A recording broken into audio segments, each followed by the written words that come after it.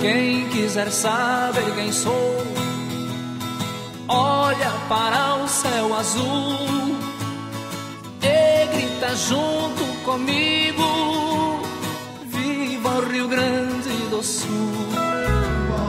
Estamos hoje aqui na Assembleia de Verão da FAMURS e o grande destaque aqui é a palestra do Carlos Costa Beber, Beber que é diretor da Ford Superal. Carlos, a emoção hoje de estar palestrando, isso é um grande destaque hoje, a tua palestra hoje aqui na Assembleia de Verão da FAMURS. É, foi muito, muito oportuno, né? Porque nós ganhamos uma experiência interessante, porque é muito dinheiro que o Estado manda para Brasília através do imposto de renda que podia ficar aqui. É meio bilhão de, de reais por ano que simplesmente vai embora e não retorna.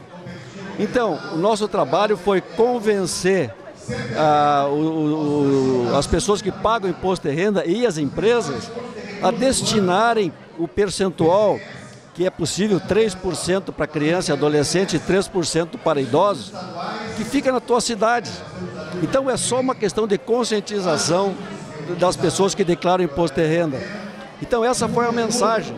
Né? Não se faz o bem sem muito dinheiro. Tem que ter dinheiro e o dinheiro está aí. E tem que ter bons projetos também. Por isso que nós estamos fazendo um trabalho profissional. É, nós somos voluntários, mas profissionais. Carlos, eu gostaria que tu falasse sobre aquela foto, sobre a premiação que tu recebeu. Ah, interessante.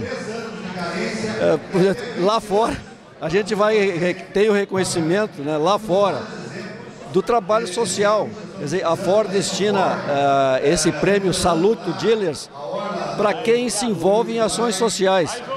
E eu tava, apresentei quatro projetos lá e me deram essa, essa, essa distinção. Muito feliz. Só me resta uma palavra por tudo que a gente viu aqui da tua palestra e também pela entrevista, que sirvam as façanhas da Ford, da Super Alto, principalmente de Santa Maria. Carlos, de modelo a toda a terra. Muito obrigado. Muito obrigado, sucesso. E vamos usar essa divulgação de vocês para conscientizar as prefeituras a deixar o dinheiro aqui.